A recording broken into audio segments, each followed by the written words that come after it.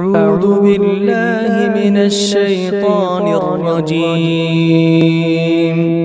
بسم الله الرحمن الرحيم.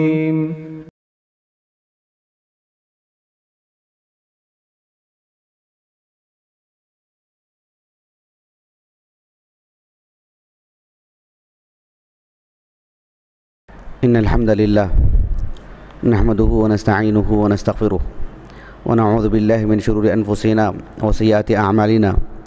من يهده الله فلا مضل له ومن يضلل فلا هادي له.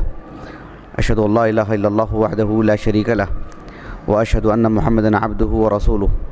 يا أيها الذين آمنوا اتقوا الله حق تقاته ولا تموتن إلا وأنتم مسلمون.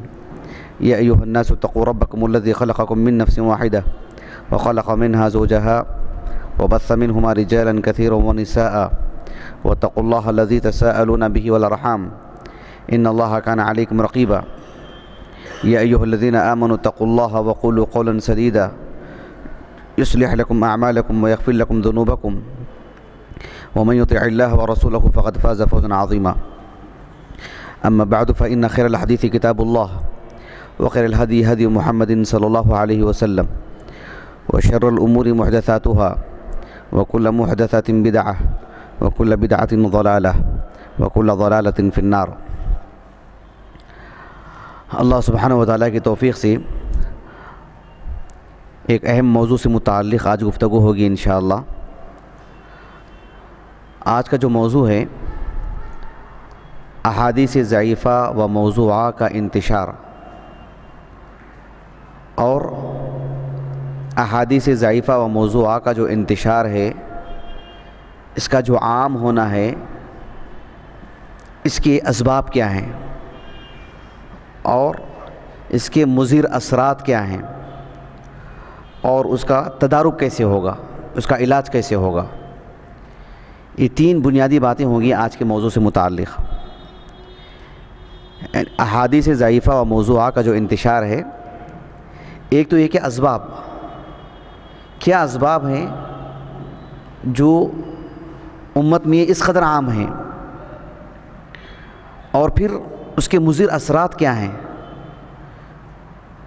اور بحیثت ایک طالب علم اس کا علاج ہمیں کیسے کرنا چاہیے؟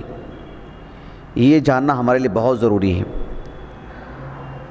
اور ایک طالب علم باوجود مخلص ہونے کے باوجود صاحب علم ہونے کے کیسے علاج کر سکتا ہے جب اسے اس کے اسباب ہی نہیں معلوم؟ اور اس کی نگاہ میں وہ مضر اثرات کیا ہیں؟ اس کا اسے علم نہیں ہے تو اس کا علاج کیا کرے گا وہ؟ تو اس کے لیے ہم سب سے پہلے اس کے اسباب جانیں، اس کے مضر اثرات سے واقف ہوں، اور خود کا اور امت مسلمہ کا دامن اس سے بچائے رکھنے کی کوشش کریں۔ خالص علمی اصولوں کی روشنی میں۔ تو آج کا جو موضوع ہے، بالکل واضح ہے انشاءاللہ۔ احادیث سے متعلق، اس سے پہلے بھی ہم نے کام کیا ہے۔ جیسے علم الاسانید اور اس کی اہمیت۔ حدیث صحیح کا تعارف۔ حدیث ضعیف کا تعارف۔ حدیث موضوع کا تعارف۔ اس موضوع کا یہ چوتھا حصہ ہے جو آج ہم آپ کے سامنے پیش کرنے جا رہے ہیں۔ یہ جو موضوع ہیں، غیر معمولی اہم ہے اللہ کے رسول صلی اللہ علیہ وسلم جو دین لے کر کے آئے، اس کے تحفظ سے متعلق کتنی آیات ہیں قرآن میں؟ کتنے احادیث ہیں؟ اس کے باوجود بھی امت مسلمہ میں احادیث ضعیفہ کا عام ہونا یہ نہایت اہم بات ہے سوچنے کے لیے، سمجھنے کے لیے۔ آپ کو یاد ہوگا کہ ہمارا جو اس جگہ پر جو پہلا درس تھا، اس سال کا نصوص کو یاد کرنے کی اہمیت اور طریقہ کار میں میں امام دارقطنی رحمہ اللہ کے حوالے سے ان کا ایک قول نقل کیا تھا، جسے حافظ ابن الجوزی رحمہ اللہ اپنی کتاب الموضوعات کے مقدمے میں ذکر کی ہیں، اپنی صنعت سے۔ کہ امام دارقطنی رحمہ اللہ نے کہا کہ اللہ کے رسول صلی اللہ علیہ وسلم کے نام پر جھوٹ بولا جائے، آپ صلی اللہ علیہ وسلم کا نام لے کر حدیثیں بیان کی جائیں، آپ کے نام پر وضع کی جائیں، اور میں زندہ ہوں۔ مطلب یہ کیسے ہو سکتا ہے؟ ایسے انہوں نے کہا تھا۔ یہ امام دار دارقطنی رحمہ اللہ نے کہا اور اللہ نے آپ کو وہ مقام عطا کیا۔ جس دور میں ہم ہیں، یہ میرے اور آپ کے اوپر مسئولیت ہے۔ اتنی غیرت ہمارے اندر ہونی چاہیے کہ آپ علیہ صلاۃ والسلام کی جو احادیث ہیں، ان کے علاوہ آپ کے نام پر حدیثیں بیان کی جائیں، حدیثیں وضع کی جائیں۔ سوشل میڈیا ہی میں نہیں، ممبر پر۔ جن کے پاس فضیلت کی سندیں ہیں، جن کے نام کے آگے پیچھے کئی القاب ہیں، ان وہ لوگ اگر نبی کا نام لے کر کے ایسی باتیں بیان کریں جو نبی کی نہیں ہیں، تو ایسے میں میری اور آپ کی مسئولیت کتنی بڑھ جاتی ہے؟ تو اس کے لیے یہ موضوع بہت اہم ہے۔ ہم جانتے ہیں کہ حدیث ضعیف وہ ہے جس میں احادیث جس میں حدیث صحیح کی صفات نہ ہوں جو حدیث صحیح کے صفات سے عاری ہو، وہ حدیث ضعیف ہے۔ آج کا جو ہمارا موضوع ہے، اس کو میں دو لفظوں میں واضح کرنا چاہتا ہوں۔ وہ یہ ہے کہ احادیث ضعیفہ و موضوعہ کا امت میں جو عام ہونا ہے، اس کا جو انتشار ہو رہا ہے، اس کے اسباب کیا ہیں؟ اس کے مضر اثرات کیا ہیں؟ اس کا علاج، یہ ہمارا موضوع ہے۔ لیکن ہم نے جو ہمارا پوسٹر ہے، اس میں اس بات کو واضح کیا کہ شیخ محمد ناصر الدین البانی رحمہ اللہ کی کتابوں سے مستفاد ہے یہ درس۔ مطلب کیا ہے؟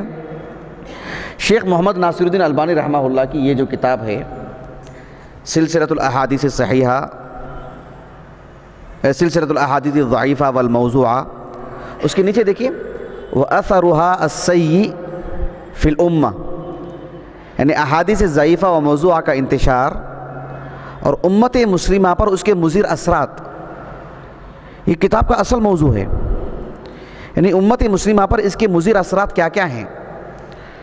شیخ البانی رحمہ اللہ نے اس کو کئی جگہوں پر بیان کیا ہے۔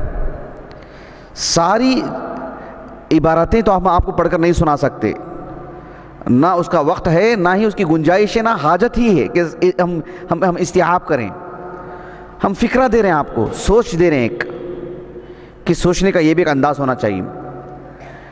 تو بہرحال، شیخ البانی رحمہ اللہ نے جو مضر اثرات امت پر جو ہوئے ہیں، وہ بتائے ہیں، کچھ میں آپ کے سامنے رکھوں گا۔ اس سے آپ اندازہ لگا سکتے ہیں کہ کتنی بڑی بات ہے۔ شیخ البانی رحمہ اللہ تقریباً ساٹھ سال کے قریب علمی خدمت انجام دی ہیں۔ ایک انسان کی جو عمر ہوتی ہے، کم و بیش اتنی بڑی عمر اللہ تعالیٰ کی توفیق سے آپ نے علمی خدمت میں لگائے اور اور ایسی علمی خدمت کہ آپ سے پہلے تقریباً پانچ سو سال تک پورے عالمی سطح پر نظر ڈالیے آپ کو، اتنی عظیم علمی خدمت کسی کے کسی کے حصے میں نصیب نہیں ہوئی ہے۔ پچھلے پانچ سو سال تک جا کے دیکھیں آپ۔ اور میں ایک علاقے کی بات نہیں کر رہا ہوں، پورے عالمی سطح کی بات کر رہا ہوں۔ اتنا عظیم انقلاب جو شیخ البانی لے کر کے آئے رحمہ اللہ، اتنا عظیم علمی انقلاب جو کسی اور کے حصے میں نہیں ہے۔ بلکہ حافظ ابن حجر الاسقلانی رحمہ اللہ کے بعد اتنا عظیم محدث، اتنے عظیم عالم دین، آپ کو پانچ سو صدیوں میں کوئی اتنے عظیم محدث کوئی نظر نہیں آئیں گے۔ خلا نہیں رہا ہے، لیکن اس قدر نمایاں شخصیت آپ کو نہیں ملے گی۔ تو شیخ البانی رحمہ اللہ نے شروع دن سے اس پر کام کیا ہے۔ یہ جو کتاب دیکھ رہے ہیں آپ التصفیہ و تربیہ یہ ہمارے آج کے موضوع کا لب لباب ہے۔ شیخ البانی رحمہ اللہ نے شروع دن سے اپنی پوری زندگی اس پر لگائی آپ نے، اور جگہ جگہ پر اس کا اظہار فرمایا کہ ہماری زندگی کا مقصد یہ ہے۔ التصفیہ و تربیہ التصفیت و تربیت التصفیت بالکل واضح ہے، صفائی سے، کہ اللہ سبحانہ و تعالیٰ کا جو دین ہے، جو اللہ کے رسول پر نازل کیا گیا ہے صلی اللہ علیہ وسلم، اس کو پوری شفافیت کے ساتھ لوگوں تک پہنچانا۔ یہ ہے تصفیہ۔ یعنی عقائد کے باب میں اگر دیکھا جائے تو، جو ہیں وہ اس کو لوگوں کے سامنے رکھنا۔ فقہی اعتبار سے مختلف آرا ہیں لوگوں کے۔ مختلف مکاتب فکر ہیں۔ کیا اختیار ہے بندے کو؟ نہیں نا۔ بلکہ وہ پابند ہے کہ جو اصل ہے اس پر عمل کریں۔ نہ کہ اسے اختیار ہے کسی کی رائے پر بھی عمل کر لے۔ تو التصفیہ کہ احکام و مسائل میں جو راجے ہے اس تک امت کو پہنچائیں۔ عقائد کے باب میں جو فطور آیا ہے، جو غلطیاں ہوئی ہیں، جو بگاڑ آیا ہے، اسے پاک کر کے امت کو اسے جوڑیں۔ فقہی اعتبار سے بھی امت کو صحیح نہج کے ساتھ اصل مسئلے کی طرف لوگوں کو، لوگوں کی رہنمائی کریں۔ اور احادیث صحیحہ ہی سے امت کو جوڑیں، احادیث ضعیفہ کو اس سے پاک کر کے۔ یہ مقصود ہے التصفیہ کا۔ اور التربیہ، اخلاقی اعتبار سے، معاملاتی اعتبار سے، لباس میں، بیو میں، سبھی امور میں ایک اچھے مسلمان کی جو تربیت ہوتی ہے، اس نقطہ نظر سے اس کی تربیت بھی ہو۔ یہ مقصود ہے شیخ البانی کا، رحمہ اللہ۔ یہ شیخ البانی رحمہ اللہ کا دراصل ایک محاضرہ تھا۔ عمان جو علاقہ ہے وہاں پر آپ نے اردو میں محاضرہ دیا تھا آپ نے، بہت پہلے۔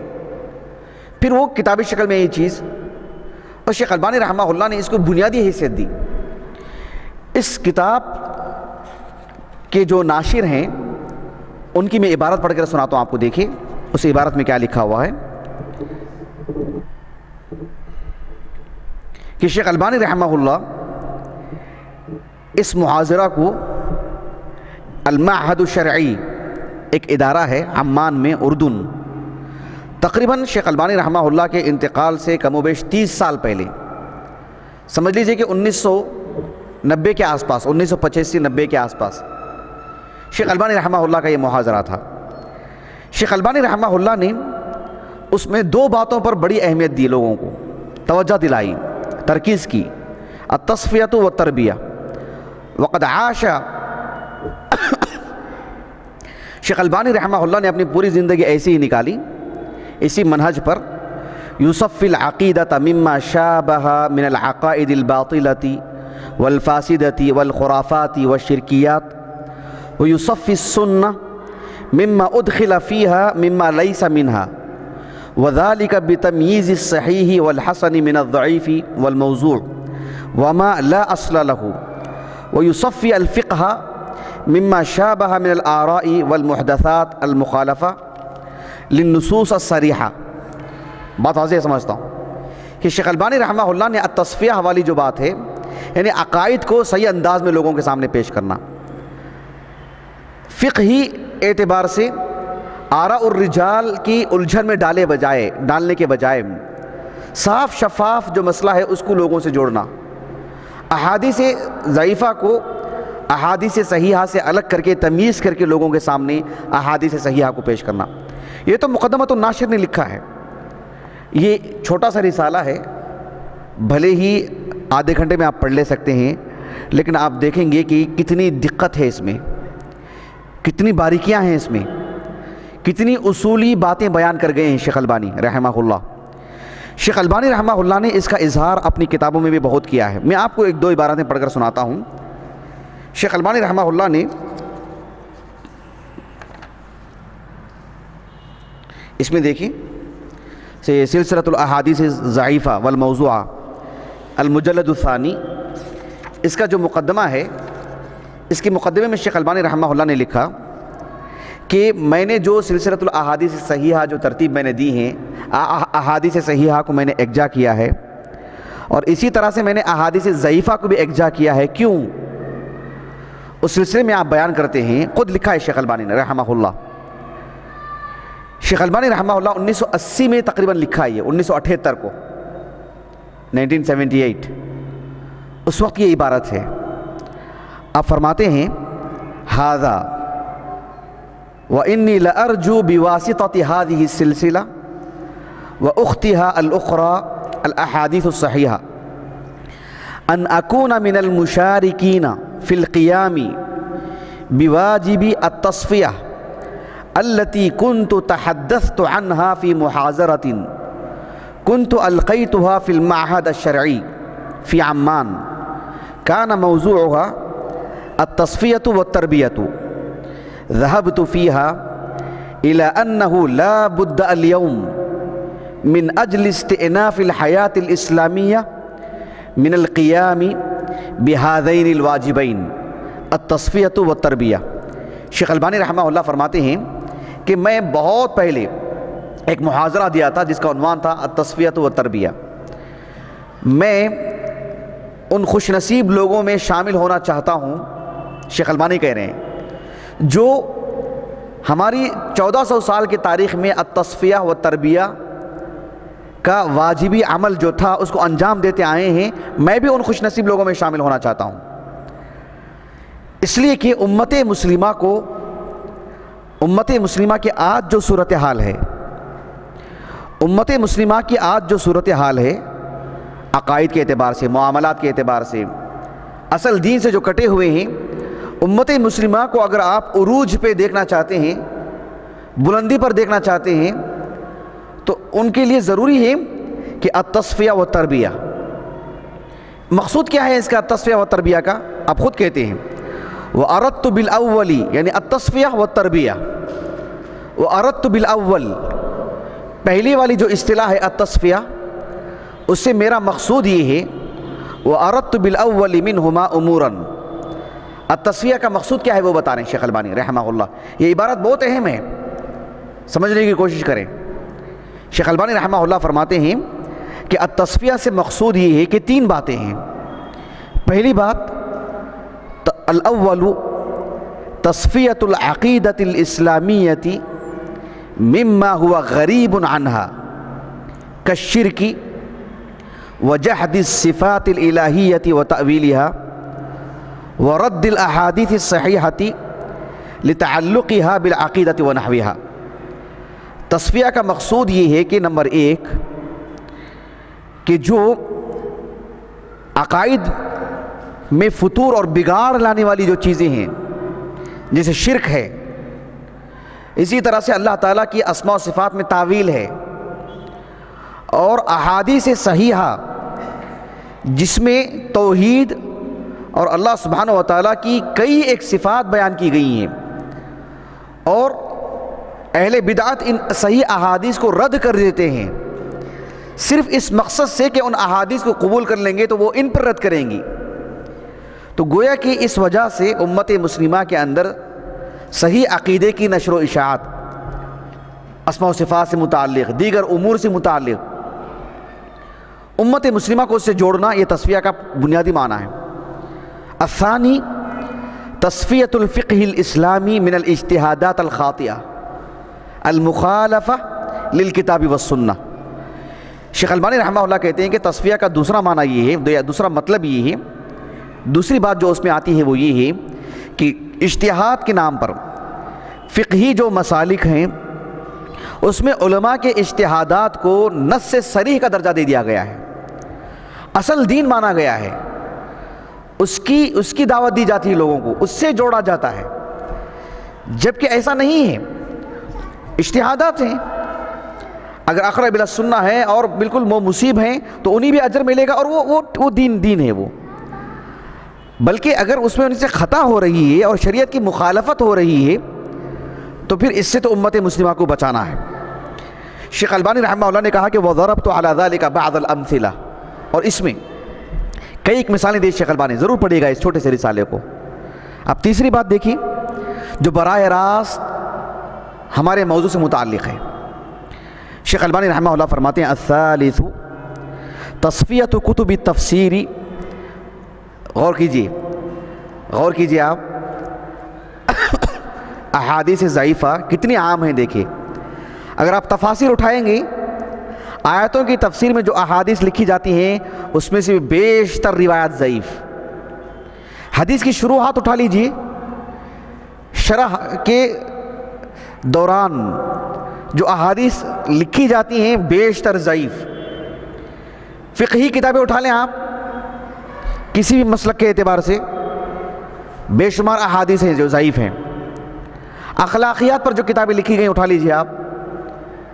کتنی روایات ہیں جو بہت بڑی تعداد میں ہیں، ضعیف ہیں۔ جو وائزین قصاص، ان کی کتابیں اٹھا لیجیے آپ۔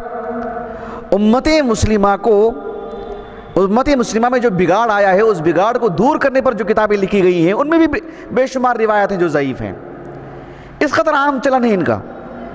اس لیے شیخ البانی نے کہا، الثالث تصفیت کتب تفسیر والفقہ والرقائق وغيرها من الأحاديث الضعيفة والموضوعة والإسرائيليات المنكرة وهذا ما أقوم به في هذه السلسلة ونحوها شیخ البانی رحمہ اللہ فرماتے ہیں، تصفیہ کا ایک معنی اور ایک مقصود یہ ہے کہ جو تفاسیر کی کتابیں ہیں، فقہی کتابیں ہیں، شروحات ہیں، بلکہ متون پر جو کتابیں لکھی گئی ہیں، ان سب میں جو جو ضعیف روایتیں ہیں، موضوع روایتیں ہیں، ان سب کو اس سے دور کرنا شیخ البانی نے کہا کہ اسی اسی لیے ضعیف سنن ابی داؤد، صحیح سنن ابی داؤد۔ الادب المفرد کے اعتبار سے صحیح الادب المفرد، پھر ضعیف، اس کی قسیم۔ شیخ البانی رحمہ اللہ نے اسی لیے کام کیا تاکہ التصفیہ ہو۔ دین جو صاف، شفاف ہے اصل ہے، اس کو اس اصل کے اعتبار سے پیش کیا جائے۔ جبکہ تفسیر کی کتابیں اٹھا لیں گے آپ، فرق نہیں کر پا رہے ہیں کہ کون سی نبی کی بات ہے، کون سی نبی کے نام پر کہی گئی ہے۔ شروحات، میں نے کہا کہ سب اس میں شامل ہیں۔ تو شیخ البانی رحمہ اللہ نے اس سلسلے میں کئی ایک مقامات پر لکھا ہے، ایک اور جگہ پر بھی لکھا ہے، ارواء الغلیل دیکھیں۔ یہ جو کتاب ہے، ارواء الغلیل فی تخریج احادیث منار السبیل۔ منار السبیل نیچے ہے ہمارے پاس۔ موضوع سے خارج ہے، اس لیے نہیں لائی گئی یہاں پر۔ منار السبیل جو ہے، جو مسالے کے اربع رائج ہیں۔ ہم جس علاقے میں رہتے ہیں، بر صغیر میں، یہاں حنفی مسلک رائج ہے۔ ان کی فقہی بنیادی جو کتاب ہے، الہدایہ یا آپ عدر المختار، دیگر کتابیں حاشیت ابن ابی عابدین، ان سب کتابوں میں آپ دیکھو، ضعیف روایتیں، موضوع روایتیں، بلکہ لا اصل لہو۔ مطلب نبی کی وہ بات ہی نہیں، کہیں کسی کتاب میں نہیں ہے وہ۔ عام قول اسے نبی کی طرف نسبت دے کے بھی لکھ دیا گیا اس میں۔ حافظ الزیلعی رحمہ اللہ نے نظم الرایہ میں اس کا دراسہ کیا الہدایہ کا۔ فقہ شافی کی اگر بات کرتے ہیں آپ، تو حافظ ابن ابن حجر الاسقانی رحمہ اللہ نے تلخیص الحبیر اس میں کام کیا آپ نے۔ لیکن یہ جو ہے فقہ حنبلی کی جو معروف کتاب ہے منار السبیل، ان روایات سے متعلق کام نہیں کیا گیا تھا۔ اس کے مقدمے میں لکھا ہوا ہے کہ منار السبیل جب وہ منظر عام پر آئی اور اس کی اثر نو تباعت ہوئی، یہ تقریباً آج سے چالیس، پینتالیس سال کی میں بات کر رہا ہوں، پرانی بات۔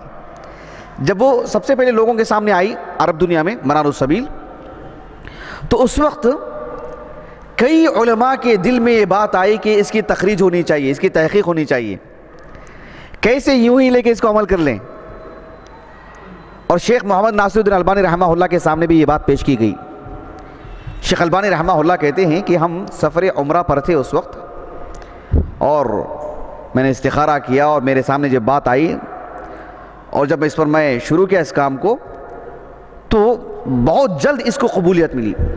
اس کتاب کے بعد شیخ البانی رحمہ اللہ کو بہت قبولیت قبولیت حاصل ہوئی الحمدللہ۔ کیونکہ یہ ایک پورے جو حنبلی مسلک ہے اس کی بنیادی کتاب ہے فقی نقطہ نظر سے، منار السبیل۔ اس کے اپنے تخریج کی، ارواء الغلیل۔ تو اس کے مقدمہ، اس کا جو مقدمہ ہے، بہت عمدہ ہے۔ شیخ البانی رحمہ اللہ کے تقریباً سبھی کتابوں کے جو مقدمات ہوتے ہیں یعنی دسیوں نے بیسوں نے، پچاسوں فوائد سے پر رہتی ہیں کتابیں۔ اسی لیے صرف آپ ارواء الغلیل کا ذہن میں رکھیں اس کا مقدمہ پڑھنے مت جائیے۔ آپ کو وہ احاطہ کروا دیتے ہیں۔ کئی باتیں اس میں جو ہے مطلب زیر بحث آ جاتی ہیں۔ صرف ایک ایک خاص نقطہ نظر سے آپ پڑھیں گے اس مقدمے کو، ایسا نہیں ہے۔ کئی چیزوں سے آپ کو مالا مال کر دیتے ماشاءاللہ۔ شیخ البانی رحمہ اللہ نے جو میرے موضوع سے متعلق ہے، وہ بات میں آپ کو سناؤں گا بس۔ دیکھیے، اس کا جو مقدمہ مقدمہ ہے، مؤلف کا۔ شیخ البانی رحمہ اللہ فرماتے ہیں کہ میں نے اس کتاب کی جو میں نے تخریج کی ہے، کئی مقاصد ہیں۔ اس کا ایک مقصد یہ بھی ہے کہ ان لمثل هذا التخریج العلمی علاقۃ وثقا بمصطلحت على تسمیته بالتصفیہ۔ شیخ البانی رحمہ اللہ فرماتے ہیں کہ میں نے اس کتاب کی جو تخریج کی ہے، کئی مقاصد ہیں۔ اس میں سے ایک بہت بڑا مقصد یہ ہے، بہت عظیم مقصد یہ ہے کہ ہم ہم جس نہج پہ کام کر رہے ہیں نا التصفیہ کا، اس ضمن میں ہم اس کو اس کا کام کر رہے ہیں۔ کیونکہ منار السبیل بہت معروف کتاب ہے۔ اور اس میں صحیح کے ساتھ ساتھ ضعیف روایتیں بھی ہیں۔ تو اس اعتبار سے بھی دیگر مقاصد کے تحت یہ بھی ایک عظیم مقصد پیش نظر تھا کہ میں اس کی تخریج کروں۔ بات واضح ہو گیا آپ کو؟ کہتے ہیں کہ ان لمثل هذا التخریج العلمی علاقت مثقا بمصطلحت على تسمیته بالتصفیہ وَأَعَنِّي بِهَا أَنَّ النَّحْضَ الْإِسْلَامِيَّةِ یعنی مسلمانوں کا مسلمانوں کی جو اٹھان ہوگی، مسلمان مسلمانوں کی جو ترقی ہوگی، مسلمانوں کا جو عروج ہے، المرجوع، جس کی قوی امید ہے، لا يمكن ان تقوم الا على اساس تصفیت الاسلام۔ آپ تصفیہ کیے بغیر مسلمانوں کی اور امت مسلمہ کی آپ اٹھان کی کوشش کریں گے، ناممکن سی بات ہے۔ جیسے آج کیا باتیں کرتے ہیں، مسلمانوں میں سے غریبی دور کرنا چاہیے۔ یہ بری بات نہیں۔ غریبی سے مراد مسلمان اور مالدار اور غریب سب ایک ہو جائیں گے، یہ تو کبھی ہونے والی بات نہیں۔ ہے لیکن بیت المال کا قیام ہو، زکوٰۃ عام کریں، وغیرہ وغیرہ، وہ ہمارا موضوع نہیں میں کیا کہنا چاہ رہا ہوں آپ کو؟ یہ بتانا چاہ رہا ہوں کہ جس طرح سے ایک بات یہ کی جاتی ہے نا کہ مسلمانوں سے جو غریبی دور کرنی چاہیے، مسلمانوں میں تعلیمی بیداری عام کرنا چاہیے۔ تعلیمی بیداری سے مراد مطلب کتاب و سنت کی تعلیم نہیں، عام، لیکن بہرحال جو بھی ہو۔ ایک فکرہ ہے، ایک درد ہے، ایک تڑپ رکھتے ہیں امت مسلمہ کے ذمہ داران لیکن اصل الاصیل یہ بنیادی چیز ہے۔ وہ شیخ البانی جیسے لوگ ہی جانتے ہیں، رحمہ اللہ۔ اللہ سبحانہ و تعالیٰ اس کے لیے اس طرح کے علماء کو پیدا فرماتا ہے۔ آج اور مستقبل میں اس کے لیے بإذن اللہ تعالیٰ میں اور آپ ہوں گے۔ کہ یہ جو التصفیہ ہے اس کے ذریعے سے امت مسلمہ کی اٹھان ہوتی ہے۔ امت مسلمہ ترقی کرے گی۔ التصفیہ کے ذریعے سے جو صحیح عقائد ہیں فقی نقطہ نظر سے ہوں، احادیث صحیحہ ہوں، اس کو امت مسلمہ میں عام کریں۔ امت مسلمہ کی بہت جلد ترقی۔ یہ سب ترقی کی ضامن ہیں یہ چیزیں۔ شیخ البانی رحمہ اللہ نے لکھا کہ لا يمكن أن تقوم إلا أساس تصفیت الإسلام مما دخل فيه على مر القرون. ومن ذلك الأحاديث الضعيفة والموضوعة. وبخاصة ما كان منها في كتب الفقه. وقد أقيمت عليها أحكام شرعية. فإن تصفية هذه الكتب من تلك الأحاديث مع كونه واجبا دينيا لكي لا يقول المسلم على نبيه صلى الله عليه وسلم ما لم يقله أو ما لا علم له به فهو من أقوى الأسباب التي تساعد المسلمين المختلفين على التقارب الفكري ونبذ التعصب المذهبي عبارت میں نے پڑھ کر کے سنا دیا تاکہ عبارت بالکل شیخ البانی کی واضح ہو۔ اس کا مفہوم یہ ہی، شیخ البانی رحمہ اللہ نے کہا کہ ہم امت مسلمہ جو متفق ہونا چاہتے ہیں متحد ہونا چاہتے ہیں، ایک دوسرے کے قریب ہونا چاہتے ہیں، اس کے لیے ہم مختلف اسباب پیش کرتے ہیں۔ التصفیہ والی بات کیوں نہیں پیش کرتے؟ کہ وہ وہ عقائد ہو وہ منہج ہو جو نبی کا تھا، صلی اللہ علیہ وسلم۔ فقی نقطہ نظر سے آرا اور رجال ہو سکتے ہیں، لیکن اقرب السنہ اس کی دعوت دی جائے۔ وہ کہنے والا کوئی بھی کیوں نہ ہو، اقرب السنہ کی دعوت دی جائے۔ حدیث صحیح ہو ہمارے اصول الگ، ان کے اصول الگ، ان کے اصول الگ، ایسا تو نہیں نا۔ سب کے اصول ایک ہیں۔ ان اصولوں پر کام کیا جائے، جو حدیث صحیح ہے، اس کے موافق کام کیا جائے۔ آپ دیکھو، ہم نے کئی ایک احناف، حنفی علماء کو ہم نے دیکھا۔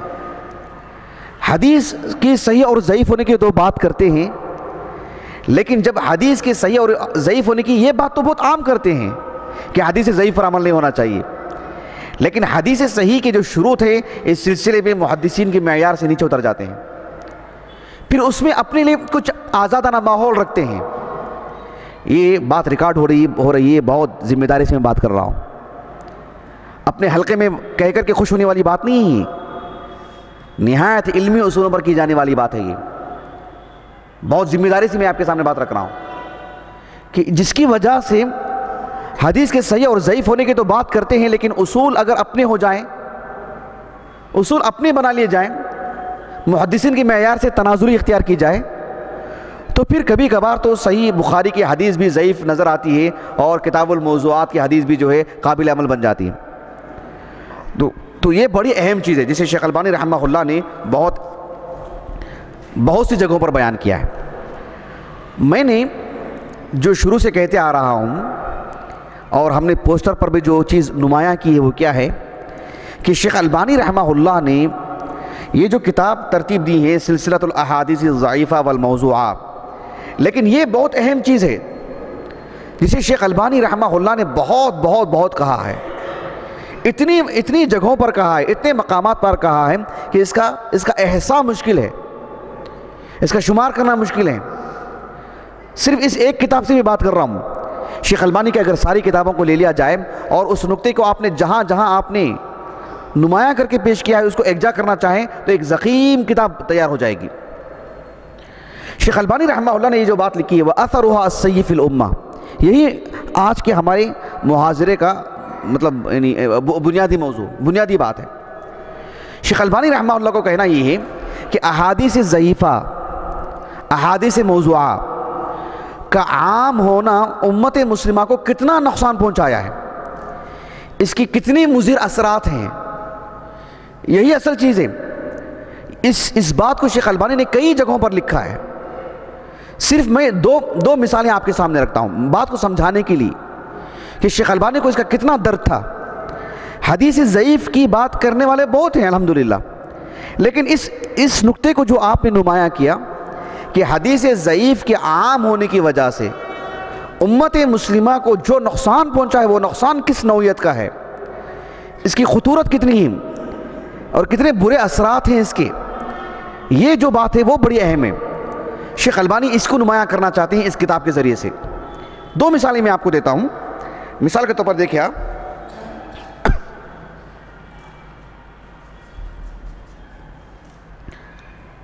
یہ جو کتاب ہے سلسلہ الحادث ضعیفہ والموضوعہ، اس کی تیرہویں جلد ہیں اور جلد تیرہویں ہیں، لیکن دو دو جز پر مشتمل ہے۔ الجز الاول الجز الثانی اس میں الجز الاول صفحہ نمبر ایک سو چون. اس میں دیکھیں شیخ البانی رحمہ اللہ نے لکھا ہے،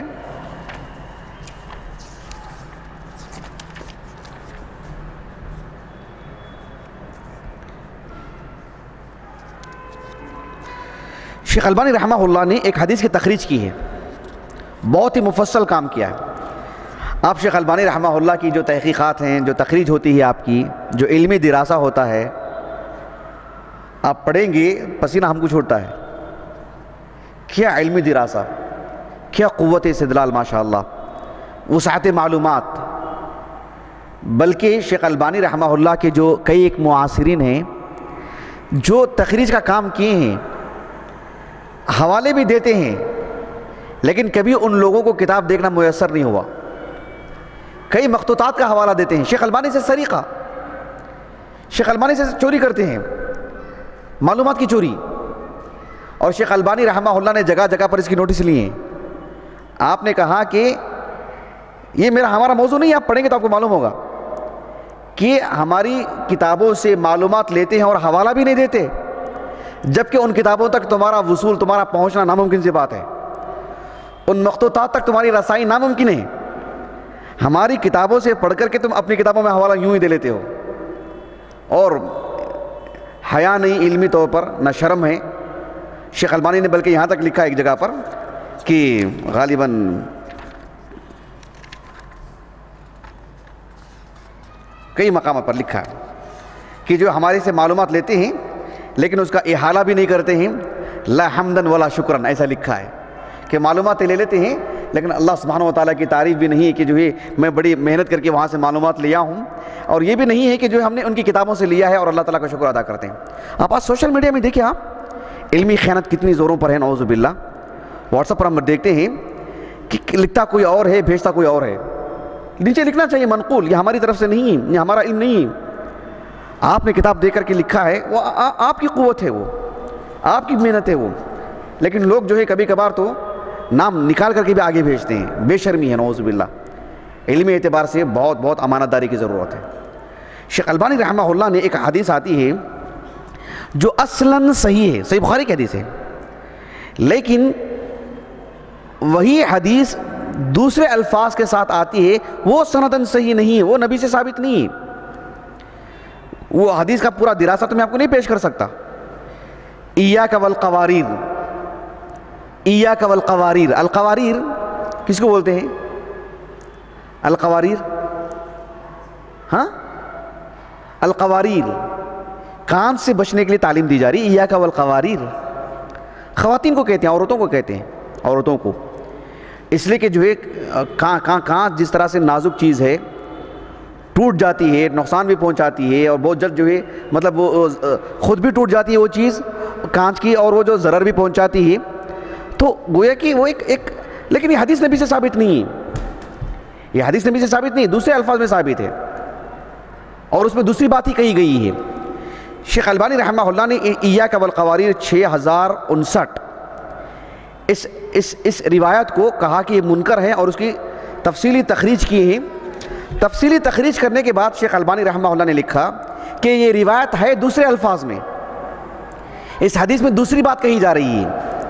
کہ آپ علیہ السلام والسلام ایک سفر میں تھے۔ ایک سفر میں تھے۔ اور آپ علیہ السلام والسلام کی ازواج متحرات کو اونٹنی پر بٹھا کر لے کر جانے والے ایک صاحب تھے انجشا نام تھا ان کا۔ وہ بہت جلدی لے کے جا رہے تھے، جلدی لے کے جا رہے تھے۔ اور پیچھے خواتین بیٹھی ہیں اور بہت جلدی لے کے جا رہے ہیں۔ یہاں تک کہ اللہ کے رسول سے آگے نکل گئے وہ۔ آپ علیہ وسلم مسکرائے اور مسکرا کر کے انہیں تنبی کی۔ اور جو ہے، آپ علیہ صرد السلام نے کہا کہ دھیرے چلائیں۔ اور خیال رکھیں ان خواتین کا جو آپ کے پیچھے بیٹھی ہوئی ہیں۔ یہ کہہ کر کے اللہ کے سنے انہیں اس بات کا حکم دیا۔ اچھی طرح بات ہوگی آپ کو اتنی سی بات ہے اس میں۔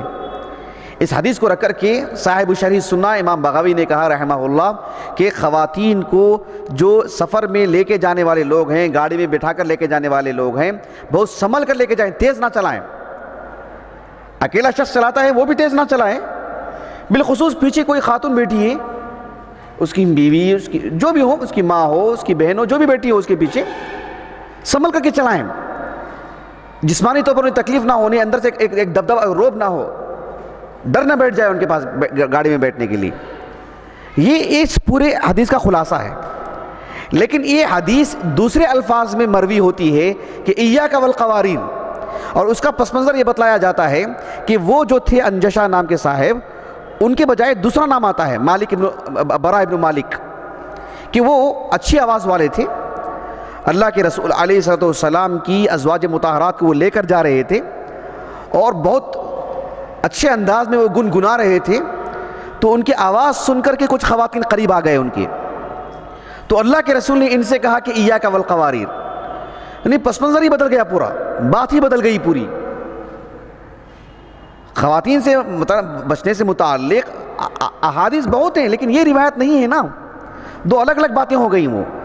وہ بات جو میں نے پہلے کہی ہے وہ صحیح ہے۔ لیکن یہ جو روایت ہے ایا کا والقواریر، وہ منکر روایت ہے۔ شیخ البانی رحمہ اللہ نے اس روایت کو ذکر کرنے کے بعد تفصیلی تحقیق کی اور کہا کہ یہ رسول اللہ سے ثابت نہیں ہے اور آپ پڑھ کر کے دیکھیں سبحان اللہ کیا قیمتی قیمتی تحقیق ہے، سبحان اللہ، کیا قیمتی تحقیق ہے۔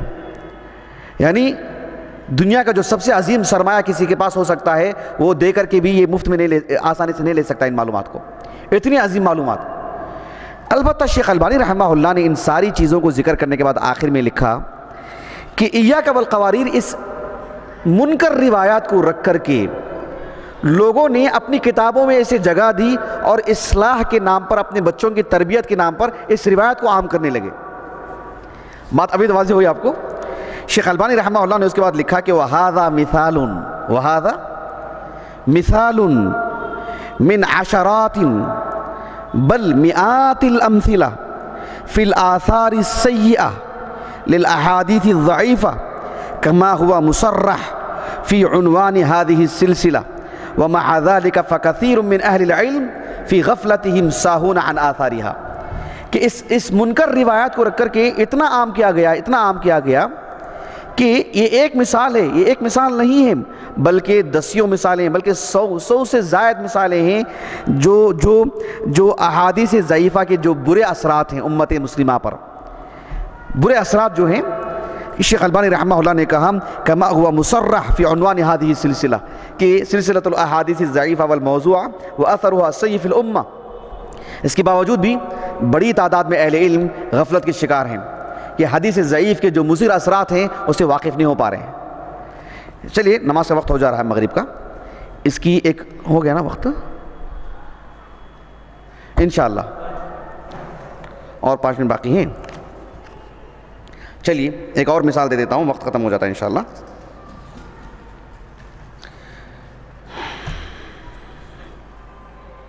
شیخ البانی رحمہ اللہ نے ایک اور مقام پر غالباً المجلد الرابع ہے۔ المجلد الرابع۔ ایک حدیث آتی ہے، جو ہندوستانی تناظر میں ہم کو سمجھنا آسان نہیں ہے۔ جہاں ہم اسلامی نہ کہیں، کم از کم مسلم حکومتیں تو ہم کہہ سکتے ہیں۔ حکومت سعودیہ ہے، اسے انشاءاللہ الحکومہ الاسلامیہ کہہ سکتے ہیں، بإذن اللہ۔ لیکن عام جو حکومتیں ہیں، وہ تو مسلم حکومتیں ہی ہیں۔ ان حکومتوں کے تحت کم از کم یہ باتیں سمجھنے میں آسان ہوتی ہیں۔ جہاں مسلمان ہوتے ہیں، غیر مسلم اقلیت میں ہوتے ہیں کہیں پر، ان کی کچھ احکام اور مسائل ہوتے ہیں۔ اس ضمن میں ایک روایت آتی ہے۔ وہ روایت منکر ہے بلکہ موضوع ہے لیکن وہ موضوع روایت کو حکومتی سطح پر اس انداز میں پیش کیا گیا ہے کہ جس میں ایک مسلمان اور غیر مسلم کے حقوق یکساں نظر آتے ہیں۔ اسی لیے میں نے کہا کہ یہ باتیں ہم یہاں نہیں پیش کر سکتے۔ اس تناظر میں پیش کریں گے تو بات زیادہ سمجھ میں آتی ہے آپ کو۔ لیکن اس اس بحث کو چھوڑتا ہوں میں۔ لیکن شیخ البانی رحمہ اللہ نے اس موضوع روایت کا جو برا اثر ہوا ہے مسلم حکومتوں کے اندر۔ اب نہیں، قدیم زمانے میں بھی جہاں حدود قائم کیے جاتے تھے۔ شیخ البانی رحمہ اللہ نے لکھا کہ ومن ہونا پوری بحث کرنے کے بعد، ومن ہونا یظہر جلین ومن ہونا یظہر جلین صدق عنوان کتابنا هذا في الاحاديث الضعيفه واثرها السيء في الامه فطالما، صرفت كثيرا منهم على مر الدهور والعصور عن دينهم.